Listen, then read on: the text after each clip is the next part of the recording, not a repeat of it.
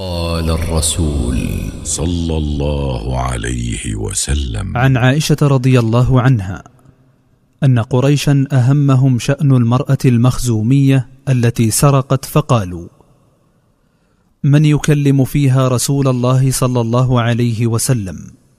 فقالوا ومن يجترئ عليه إلا أسامة ابن زيد حب رسول الله صلى الله عليه وسلم.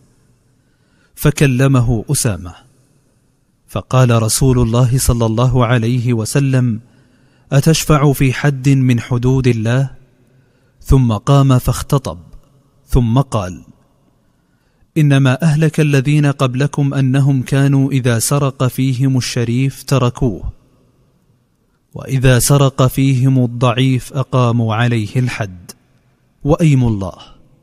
لو أن فاطمة ابنة محمد سرقت لقطعت يدها. متفق عليه.